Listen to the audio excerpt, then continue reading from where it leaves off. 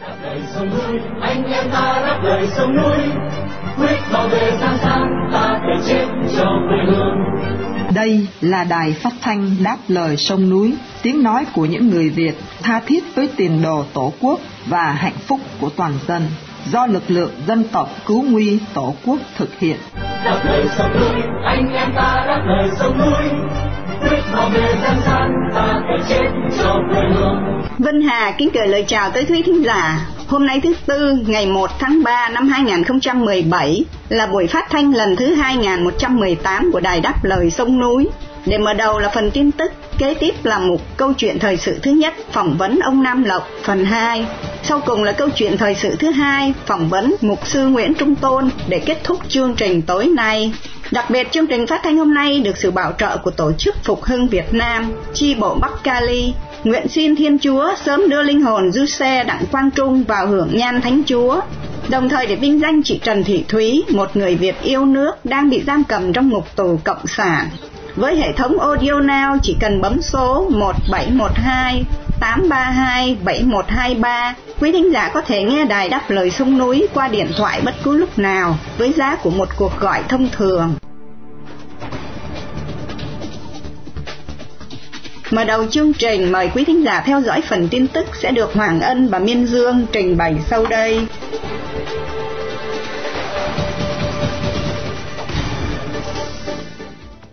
Thêm nhiều người đấu tranh bị hành hung, ông Huỳnh Anh Tú và bà Phạm Thanh Nghiên đã bị một nhóm công an chìm chặt đánh thô bạo sau khi đến thăm nhà văn Nguyễn Xuân Nghĩa ở Hải Phòng vào chiều hôm qua. Khi vừa mở cửa xe taxi, ông Huỳnh Anh Tú bị một kẻ to con lao đến, dùng gậy giáng xuống đầu, nhưng may mắn ông Tú tránh được, chỉ bị sợt qua đầu. Tên côn đồ sau đó chạy sang bên kia đường, phóng lên xe của một đồng lõa đang chờ sẵn để tẩu thoát.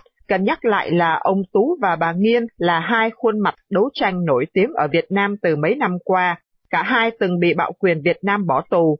Vào ngày 8 tháng 2 vừa qua, ông Huỳnh Kim Sơn, thân phụ của ông Tú, đột ngột từ trần tại Mã Lai và gia đình đã bị Hà Nội làm khó dễ trong việc đưa cho cốt của ông Sơn về nước. Từ Hải Phòng, bà Phạm Thanh Niên kể lại.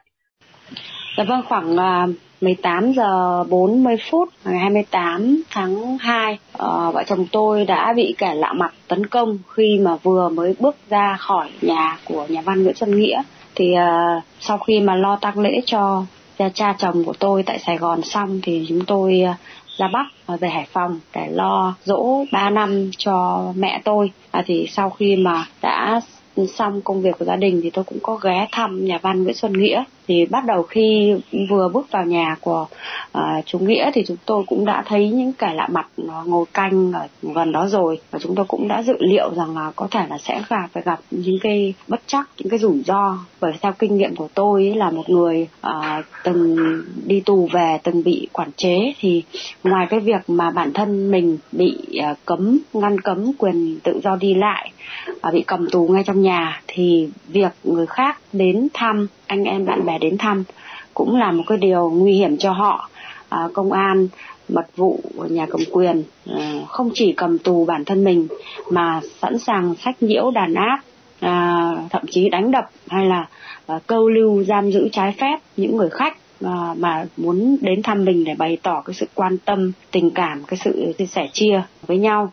Thì khi mà vừa mới bước ra khỏi nhà của nhạc văn Nguyễn Xuân Nghĩa thì nhà của chú Nghĩa là ở mặt đường thành ra là khi đó thì tôi và cùng với lại vợ chồng nhà văn Nguyễn Xuân Nghĩa thì còn đang chào nhau. Thì khi anh Tú vừa mới à, mở cửa xe taxi. Để bước vào xe thì là anh đã quan sát thấy một kẻ bịt mặt cầm gậy lao tới. Thì cũng rất là may là anh cũng nhanh tay là uh, bước vào xe và ừ, đóng cửa lại.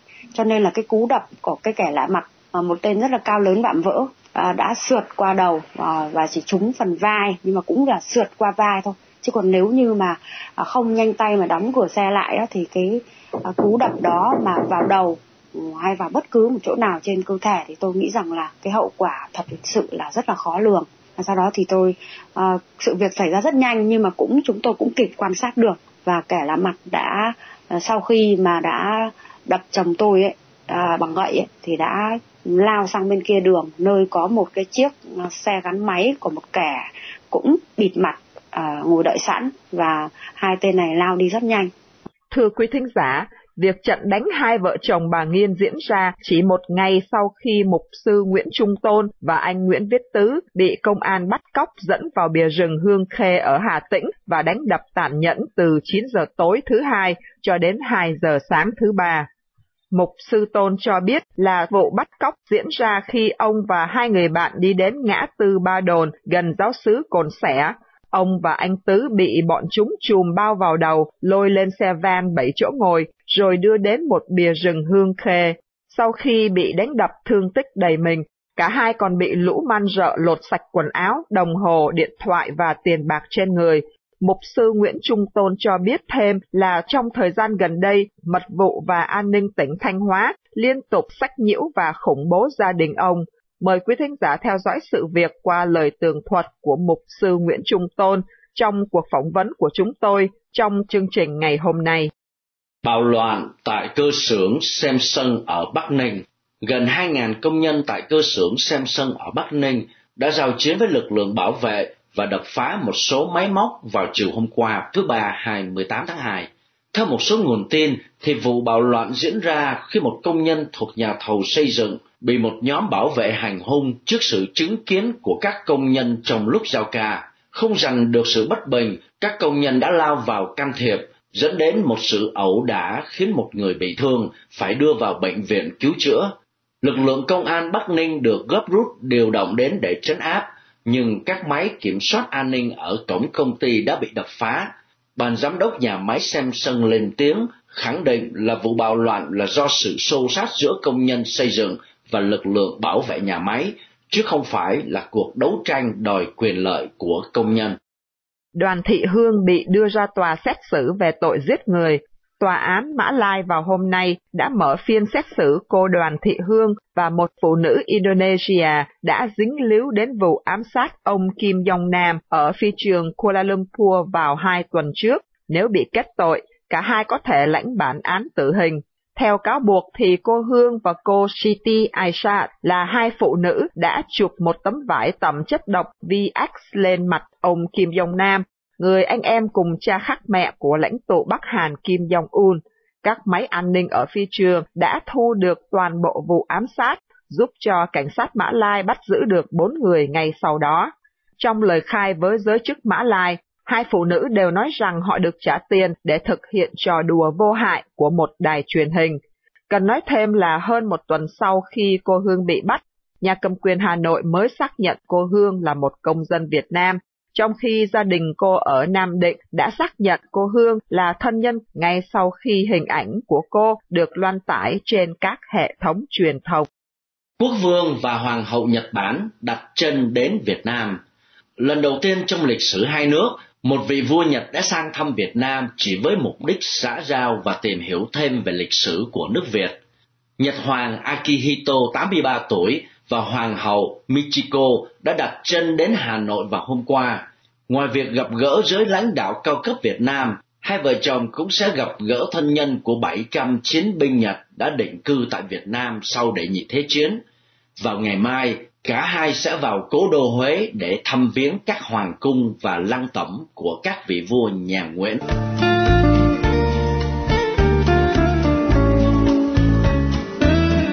Thưa quý thính giả, Ông Nam Lộc là cựu giám đốc sở di trú và tị nạn của cơ quan Bác Ái Công giáo, kiêm cố vấn về di trú và định cư cho Hội đồng Giám mục Hoa Kỳ. Dù đã về hưu từ gần một năm qua, nhưng ông vẫn được xem là một chuyên viên thâm niên với hơn 41 năm phục vụ trong lĩnh vực di trú và định cư người tị nạn trên toàn thế giới. Để tìm hiểu sắc lệnh về di dân của tân chính phủ Hoa Kỳ, cũng để trả lời tóm tắt các câu hỏi của nhiều thính giả gửi vào đài. Mời quý thính giả theo dõi tiếp phần 2 cuộc nói chuyện giữa phóng viên Minh Nguyệt và ông Nam Lộc sau đây. Dạ vâng, ngoài những sắc lệnh của Tổng thống Donald Trump bên phía hành pháp, vậy bên phía Quốc hội có những dự luật gì nữa không thưa ông? Dạ vâng, um, thưa cô, câu hỏi của cô rất là quan trọng là bởi vì ngoài những cái sắc lệnh di trú của Tổng thống Donald Trump, những cái dự luật trong tương lai đến từ Quốc hội, đó mới là cái điều quan trọng và đáng quan tâm là bởi vì đó là những dự luật quốc gia còn sắc lệnh hành pháp nó chỉ có tính cách ờ, tương đối thì hiện nay ờ, chúng tôi biết rằng là có rất nhiều ờ, các vị thượng nghị sĩ cũng như dân biểu Quốc hội Liên bang Hoa Kỳ đã đưa ra nhiều đề nghị. Tuy nhiên, có một cái đề nghị rất là quan trọng ở Thượng viện đã vừa được hai vị thượng nghị sĩ thuộc Đảng Cộng Hòa, đó là ông Tom Cotton, ông ở tiểu bang Arkansas và ông David Perdue, ông ở tiểu bang Georgia. Cả hai ông đã trình Thượng viện một dự luật đúng vào ngày 7 tháng 2 và cái dự luật này đó, nó có cái tên là Reforming American Immigration for Strong Employment Act. Tôi xin tạm dịch là đạo luật cải tổ nền di trú Hoa Kỳ để tạo vững mạnh cho công việc làm. Và dự luật này đã được Thượng viện Hoa Kỳ duyệt qua ngày 13 tháng 2 và sau đó, Thượng viện đã giao cho một cái ủy ban, gọi là Ủy ban Tư pháp Thượng viện cứu xét. Nếu mà cảm thấy và họ chấp thuận, họ sẽ đưa ra cho toàn thể Thượng viện bỏ phiếu. Cái dự luật này hiện nay đã được cấp một cái danh số S354 thì thưa cô dự luật này có thể nói là một cơn ác mộng cho những người bảo trợ gia đình. Bởi vì dự luật này đề nghị bãi bỏ hầu hết các diện bảo lãnh gia đình theo thứ tự ưu tiên. Ví dụ như dự luật này đề nghị là sẽ không còn cho phép cha mẹ có quốc tịch được bảo lãnh cho các con độc thân trên 21 tuổi tức là diện F1 dự luật này đồng thời cũng sẽ cắt bỏ cái diện F2B là diện cha mẹ có thường trú nhân, bảo lãnh cho các con độc thân trên 21 tuổi. Dự luật này cũng đề nghị là sẽ bãi bỏ diện F3 cha mẹ có quốc tịch Hoa Kỳ, bảo lãnh cho các con có gia đình. Và dự luật này đồng thời cũng bãi bỏ diện F4 là anh chị em có quốc tịch Hoa Kỳ bảo lãnh cho nhau. Nhưng mà một trong những điều khoản mà tôi cho là khe khắt nhất của dự luật này là đồng thời cũng bãi bỏ cả diện immediate relative, tức là liên hệ trực thuộc, không cho phép con cái có quốc tịch Hoa Kỳ bảo lãnh cho cha mẹ nữa mà chỉ cho nếu muốn bảo lãnh cha mẹ nước Mỹ sẽ cấp cho cha mẹ một cái chiếu khán tạm thời dài hạn. Cha mẹ sẽ sống với cái chiếu khán tạm thời dài hạn đó cho đến khi rời nước Mỹ chứ còn không được thẻ xanh cũng như không được quốc tịch. Quan trọng nữa là tất cả những người nào muốn bảo lãnh cho cha mẹ, già, yếu để phụng dưỡng ở Hoa Kỳ thì phải mua bảo hiểm cho cha mẹ và phải hoàn toàn chịu trách nhiệm chứ cha mẹ không được hưởng bất cứ một cái phúc lợi nào về vấn đề xã hội ở bên Hoa Kỳ. Vì thế cho nên theo tôi thì thưa cô, cái dự luật ở Thượng viện đang chuẩn bị đem ra bàn thảo, có lẽ là dự luật khe khắt nhất từ trước đến nay trong suốt cả cuộc đời làm về di trú của tôi, thưa cô. Wow, thưa ông Nam Lộc, Minh Nguyệt nghe thấy cái dự luật này thì thấy uh, có vẻ rất là khắc khao với cộng đồng uh, di dân. Như vậy thì dự luật Được này rồi. có ảnh hưởng thế nào đối với cộng đồng người Việt thưa ông? À, vâng, thưa cô Minh Nguyệt, nếu mà nói là khát khao với cộng đồng di dân cũng không đúng, tức là khát khao ngay cả với người Mỹ nữa. Có nghĩa là người Mỹ bây giờ muốn bảo lãnh cho ngay cả những người ví dụ như là người Mỹ gốc người Mỹ gốc Việt, người Mỹ gốc Phi, người Mỹ gốc uh, Trung Hoa, người Mỹ gốc Ấn Độ muốn bảo lãnh cho thân nhân cũng không được nữa chứ không phải là chỉ là người di dân phải không ạ? Ừ. Cho nên dự luật này nó nguy hiểm ở chỗ là tạo cho cái tâm lý người Mỹ họ cảm thấy là quá nhiều người di dân vào đây đã lấy đi công việc làm của công dân Mỹ cho nên cái dự luật này nó có cái tên là for strong employment tức là cải tổ hệ thống di trú để tạo cái sự vững mạnh cho công việc làm và nghe chứ vững mạnh cho công việc làm thì rất nhiều người Mỹ họ sẽ ủng hộ bây giờ trả lời câu hỏi của cô thì như tôi nói lúc đấy nó sẽ là một cái, ác mộng cho những người đào đang muốn bảo lãnh gia đình thì uh, qua cái sự tìm hiểu ảnh hưởng của dự luật này thì chúng tôi đã liên lạc với uh, cái cơ quan gọi là NVC NVC là viết tắt chỉ chữ National Visa Center, cái trung tâm chiếu khán quốc gia. Thì theo cái thống kê của cơ quan này cho biết là tính cho đến à, tháng 12 năm 2016, hiện giờ cái trung tâm này đang có 4.5 triệu đơn bảo lãnh gia đình. Trong số 4.5 triệu đơn á, gồm có dẫn đầu là Mexico có 1 triệu 300 ngàn đơn, tiếp theo là Phi Luật Tân có 380 ngàn đơn, sau đó là Ấn Độ có 332 ngàn đơn, và người Việt Nam đứng hàng thứ tư gồm có 266.000 đơn và sau đó mới đến Trung Quốc là 252.000 đơn. Thì đây là cái vấn đề quan trọng, thưa cô Minh Nguyệt là câu hỏi cô ảnh hưởng như thế nào. Thì hiện nay đó, với số 266.000 đơn bảo lãnh của người Việt Nam đó, thì tất cả những cái diện mà mà gia đình đang làm đơn bảo lãnh thì cái diện F1 là có 6.000 đơn, rồi diện F2B có 12.000 đơn, diện F3 có 51.000 đơn. Ừ. Rồi tiếp theo là diện F4, anh chị em của công sĩ có 188.000 đơn. Và có thể nói rằng là kể cả cha mẹ cũng vậy, thì tổng cộng cái số đơn mà bảo lãnh cho những cái diện mà Thượng viện đang chuẩn bị cắt á, là 588.000 đơn, trong khi chỉ có 8.000 đơn bảo lãnh là diện vợ chồng và con cái dưới 21 tuổi. Có nghĩa là sao? Có nghĩa là nếu cái dự luật này được ban hành thì cái diện bảo lãnh gia đình của người Việt Nam chúng ta sẽ bị ảnh hưởng, sẽ bị mất đi 97% thưa cô. Dạ, yeah. wow. Thưa ông, dự luật này theo ông là có tính hồi tố, như vậy thì có ảnh hưởng đến những đơn xin đã nộp trước đây không thưa ông? Câu hỏi này cũng rất là hay. Tôi đã được à, tôi đã liên lạc trực tiếp với văn phòng của hai thượng nghị sĩ này và cũng được họ gửi cho tôi uh, cái bill tức là cái cái cái, cái nội dung của dự luật thì trong đó vào phần cuối cùng thì dự luật nói là effective date tức là cái ngày mà uh, ngày mà sẽ ban hành uh, ngày mà dự luật này Ờ, được áp dụng đó, thì họ để là khi mà dự luật này được quốc hội thông qua, cả lưỡng về quốc hội thông qua, thì cái ngày được áp dụng sẽ là ngày ngày đầu tiên của chu kỳ thường niên. Tôi dùng chữ này, ngày đầu tiên của chu kỳ thường niên chính phủ liên bang.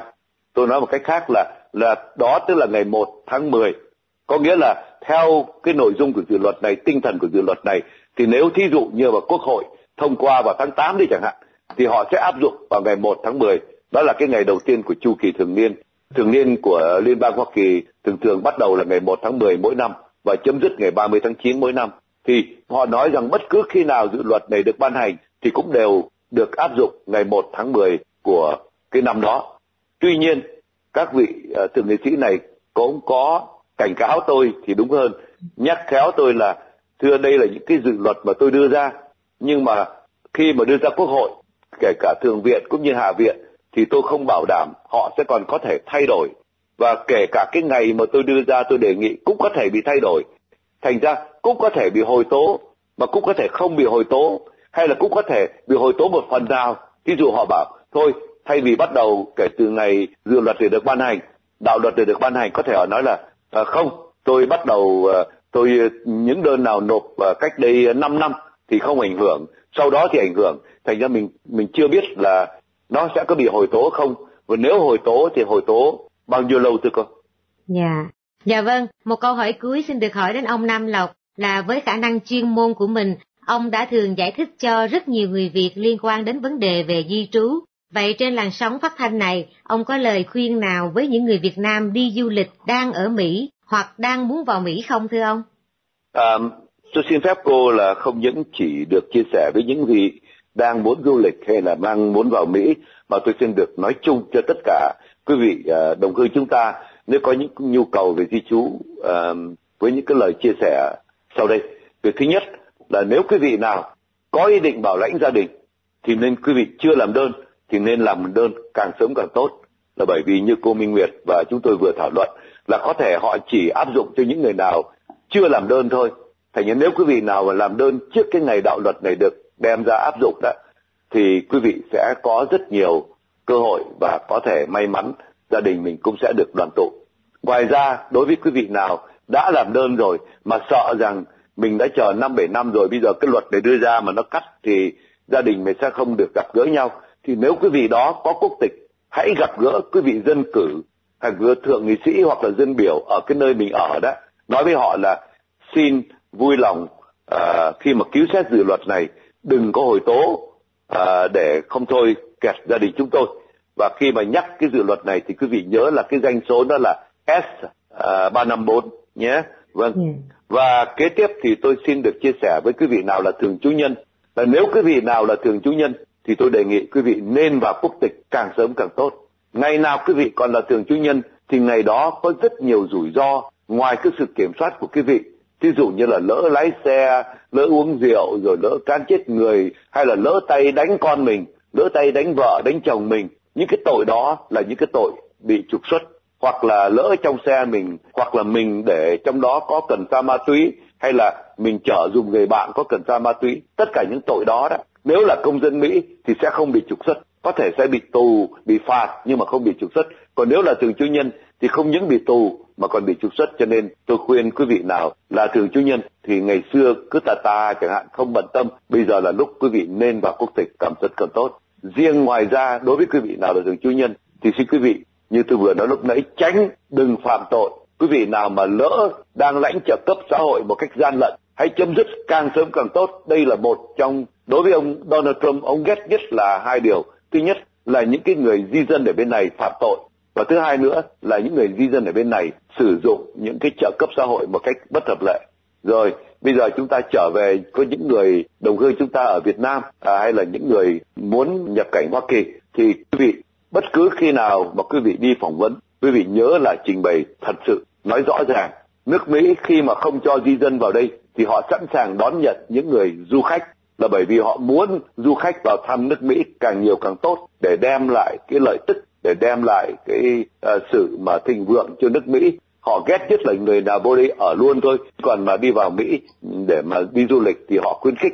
Và lại họ cũng nghĩ rằng mai mốt đây những người nào đi du lịch sẽ không ở lại là bởi vì nước Mỹ đã có những cái biện pháp rất là khe khắt với những người ở đây lậu. Thì những cái người nào mà muốn ở đây cũng sẽ không dám ở bởi vì sẽ không làm được gì nữa. Có thể sẽ bị bắt bớ khi ra mà ngoài đường mà lấy xe. Cho nên tôi chỉ xin phép một cách thật là gọi là tóm tắt để xin chia sẻ với tất cả quý vị ở trong từng hoàn cảnh với nhau. Và sau cùng à, tôi chỉ muốn à, chia sẻ với cộng đồng người Việt chúng ta là à, nếu quý vị biết những cái tin này và quý vị hướng dẫn cũng như là chuyển những cái tin này về bên nhà về cho thân nhân chúng ta thì xin quý vị hãy cố gắng uh, chuyển tin một cách rõ ràng đừng có nghe đời đồn để có thể làm cho những người ở bên nhà bị hoang mang lo lắng và đôi khi người ta có thể bỏ cuộc trong những cái vấn đề đoàn tụ gia đình rất là tội nghiệp. Uh, thưa cô. Dạ vâng, Minh Nguyệt rất cảm ơn ông Nam Lộc đã dành cho Đài Phát thanh Đáp lời sông núi buổi phỏng vấn hôm nay. Cảm ơn ông đã giải thích rất rõ ràng nhằm giúp cho cộng đồng người Việt ở khắp nơi hiểu rõ hơn về luật di trú mới của Hoa Kỳ hiện nay.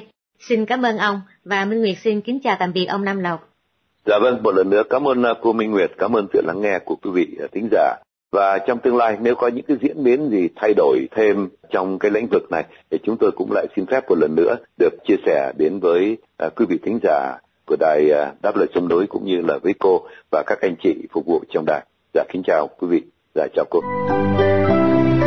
Thưa quý thính giả, như tin tức chúng tôi đã loan tải, vào tối thứ hai, mục sư Nguyễn Trung Tôn cùng ông Nguyễn Viết Tứ đã bị một nhóm côn đồ chặn bắt và đánh đập gây trọng thương cho cả hai. Chúng ta không lạ gì trước việc nhà cầm quyền đã từ bao năm nay cho công an giả dạng côn đồ để đàn áp các tiếng nói, cổ võ cho tự do dân chủ. Từ Thanh Hóa, Mục sư Nguyễn Trung Tôn đã tường thuật lại sự việc như sau. Thưa Mục sư Nguyễn Trung Tôn, chúng tôi được biết đó là vào à, tối thứ hai, Mục sư và một người à, bạn nữa trên đường đi đó thì đã bị một nhóm người đánh đập một cách rất là dã man. Trước tiên thì xin Mục sư tường thuật lại à, diễn tiến của sự việc ra sao ạ? À? Dạ thưa anh Quang Nam, dạ, thưa quý khán thính giả, thì vào ngày 27 tháng 2 à, tôi có chút công việc à, cần phải đi vào phía miền Trung, à, vừa là đi thăm mộ người thân của tôi, cũng là đi thăm gặp một số anh em quen biết ở, ở trong khu vực Cồn Sẻ ở Huế. Dự tính là có thể là tôi sẽ quay ra khu vực Nghệ An. Thì khi đi thì tôi có đi cùng với một người bạn là anh Nguyễn Đức Tứ cùng quê với tôi thì hai người chúng tôi đi từ thanh hóa bắt một chiếc xe đò. Thì khi chúng tôi lên xe đấy thì ở tại cái điểm chúng tôi lên xe thì ờ, không phải chỉ có mình hai chúng tôi mà còn có có thêm một người nữa họ cũng lên xe. Chúng tôi xuống quảng bình thì họ cái người đấy cũng nói là xuống quảng bình. Thì chúng tôi cũng không có không có để ý họ đi theo hay là gì. Cho đến ờ, uh, ờ, 21 giờ 30 thì chúng tôi đến ngã tư Ba Đồn thuộc uh, tỉnh Quảng Bình tôi và người bạn tôi vừa bước xuống xe, chiếc xe xe đò vừa mới chạy. Thì ở dưới đã có tôi thấy có rất là nhiều người ờ, giống như là xe ôm, nhưng mà chỉ có hai chiếc xe máy thôi. Còn người thì lại rất là đông. Ờ, họ hỏi tôi là đi đâu ừ, có đi xe ôm không? Thì tôi mới bảo tôi vào chỗ cầu cảnh dương, không biết giá xe bao nhiêu. Thì tôi vừa mới nói đến đấy thì có một người không biết ở trong cái đám đông đấy, họ đấm vào mặt tôi. Thì tôi nghe có tiếng xe nó xịt ngay đằng sau tôi thì họ đấm vào mặt tôi rồi tôi ho mắt, đi bắt đầu là họ họ đấm, họ lôi tôi lên trên trên cái chiếc xe đấy. Họ lột cái áo ấm của tôi đang mặc, áo khoác tôi đang mặc, họ trùm lên đầu tôi. Họ trói cái đầu tôi với cái tay tôi dốc ngược lên, về phía phía phía trên đầu. Rồi họ lột hết cả quần áo tôi. Rồi hành lý của gì là họ lột trần truồng như vậy. Bắt đầu là họ cứ dùng cái tiếp sắt đấy cái cái gậy sắt lẽ nó to bằng cái ngón chân cái. Họ đập đập nửa người tôi từ từ từ cái hông từ trên hông này xuống đến dưới dưới chân thì bạn tôi cũng bị như vậy. Ừ, tôi thì bị trói trối trói chân tay bằng chính cái cái áo của tôi và quần của tôi. Còn bạn tôi thì ờ, lại bị trói bằng ờ, dây điện. Tôi thì bị trói cái tay lên phía đầu rồi sau đấy họ là lật họ trói về phía đường trước. Nhưng bạn tôi thì bị họ dùng dây điện họ trói tay chặt ra đường phía sau họ trói chân lại rồi họ úp thấp xuống người xuống. Rồi có người giữ cái đầu ghì xuống dưới cái mặt ghế đấy rồi họ cứ thế là dùng gậy họ vụt từ lưng vụt, vụt xuống. Vâng thưa mục sư, đó là lúc mà mục sư ờ, vừa xuống bến xe đò. Và sau đó đó khi mà họ đưa mục sư ờ, và anh Nguyễn Viết Tứ lên xe đó thì ờ, việc gì đã xảy ra nữa thưa mục sư? Rồi cứ trên đường đi đấy thì họ cứ chạy xe họ ta vừa chạy xe họ vừa đánh. Họ đánh rồi đến cái chỗ vắng vắng ấy thì họ lại dừng xe họ lại lôi tôi xuống. Họ đánh ở dưới rìa đường. Họ đánh ở dưới rìa đường rồi họ họ giờ là dùng dùng ờ, giày đấy họ dẫm lên cái cái bàn chân tôi. Rồi họ kê cái mu chân của tôi lên cái rìa cái mương bê tông ấy, cái mương thoát nước ở rìa núi ấy. Thế là họ dùng cái gậy họ đập vào cái con cái mu bàn chân của tôi. Nó sưng cãi lên chân không có thể lết được nữa. Rồi họ lại lôi tôi lên xe. Rồi đi một đoạn họ lại lôi bạn tôi xuống họ đánh cũng như vậy. Họ đánh họ đánh chúng tôi liên tục cho đến 2 giờ gần à, khoảng một giờ gần 2 giờ sáng. Thì họ đưa chúng tôi vào à, cái cái rừng hương khê và họ vứt chúng tôi xuống đấy. Ờ, trong cái tư thế là người lõa lồ không có quần có áo. Và ở rìa rừng thì rất là hoang vu mà người tôi thì máu nó chảy ra cho nên cái sên bị bắt nó lại bẹo vào nó cứ đốt nó nó, nó hút máu rồi. Mà tay phải của tôi đau chân phải không đau không làm sao lấy cả thơ thân thể như vậy nó không cựa để mà lấy được cái quân sên mình bắt ra trên người. Thế rồi chúng tôi hai hai hai người bạn rìu nhau nghe có cái tiếng chó sủa thế chúng tôi dìu nhau lết đi được khoảng ờ, 200 mét thì ờ, chúng tôi kêu cứu. Thì có người dân làm cao su ở đấy, họ họ nghe tiếng kêu rồi họ ra, họ ba người, cả ba bố con họ ra, họ đưa chúng tôi vào một cái nhà hoang rồi họ lấy củi lửa họ đốt cho chúng tôi. Họ đem mì tôm cho chúng tôi ăn với đem nước cho chúng tôi uống. Rồi họ ờ, đem cho chúng tôi một cái mê chiếu với một cái mảnh chăn cho chúng tôi nằm ở đấy qua đêm. Vâng, thưa mục sư Nguyễn Trung Tôn, có cơ sở nào để chúng ta cho đây là cái sự dàn xếp của công an để mà chấn áp mục sư không ạ? À? Dạ, thì uh, tôi tin chắc rằng đây là lực lượng an ninh chìm của nhà cầm quyền. Bởi vì uh, cách đây mấy tháng thì uh, chính uh, chính quyền xã Quảng Yên, huyện Quảng Sương họ đã dùng lo phóng thanh để họ tuyên truyền, họ đọc những cái bản tin để bôi nhọ tôi kích động quần chúng để thù hằn tôi. Rồi họ dùng côn đồ để để nếm mắm tôm, rồi họ đập phá quầy hàng kinh doanh của gia đình tôi. Và chính công an họ cũng cảnh báo cho tôi là đừng đừng có đi đâu, ở nhà, nếu mà đi đâu là coi chừng. Và cách đây ít ít hôm thì có một người công an là trung tá có an ninh, tên là viên đình tô. Và anh ta tìm cách gây gỗ với tôi. Họ liên tục đưa ra những lời cảnh báo là là tôi sẽ bị đập bất cứ lúc nào. Cho nên à, lần này tôi tin chắc rằng đây là lực lượng công an côn đồ giả dạng à, công an giả dạng côn đồ đánh đập tôi thôi. Nhà vì vì ở trong khu vực cồn xỉa thì lâu nay à, có cái việc mà cá cá chết rồi vì sự cố môi trường thì bà con họ cũng thường hay hay xuống đường họ đi à, đi đi phản đối cái việc công ty Formosa gây ô nhiễm môi trường và họ đòi cái đền bù thỏa đáng. Cho nên là có thể là khi mà tôi họ thấy tôi xuất xuất hiện, họ sợ rằng tôi vào đấy xuất hiện ở trong đấy thì sẽ, tôi sẽ kích động hay là tham gia tổ chức biểu tình à, với bà con và hưởng ứng cái lời kêu gọi của linh mục Nguyễn Văn Lý về việc biểu tình vào ngày mùng năm. Đấy, thì thì tất cả những cái sự kiện này liên kết lại thì tôi nói chắc rằng đây là công an. Vì nếu là bọn cướp thì họ chỉ họ chỉ cướp tiền cướp của rồi họ họ thả người thôi.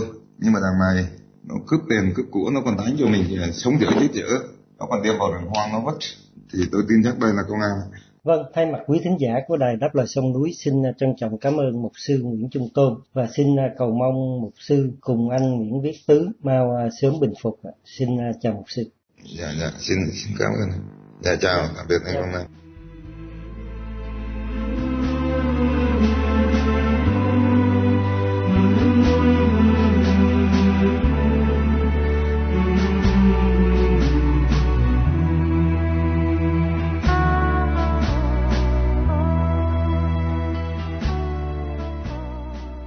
khi chia tay trong buổi phát thanh tối nay, kính mời quý thính giả cùng Đài Đáp Lời Sông Núi nhớ đến chị Trần Thị Thúy, sinh năm 1971, bị bắt ngày 10 tháng 8 năm 2010, hiện đang bị nhà cầm quyền Cộng sản giam cầm với bản án 8 năm tù vì lòng yêu nước, lẽ phải và sự đóng góp tích cực vào tiến trình dân chủ hóa Việt Nam.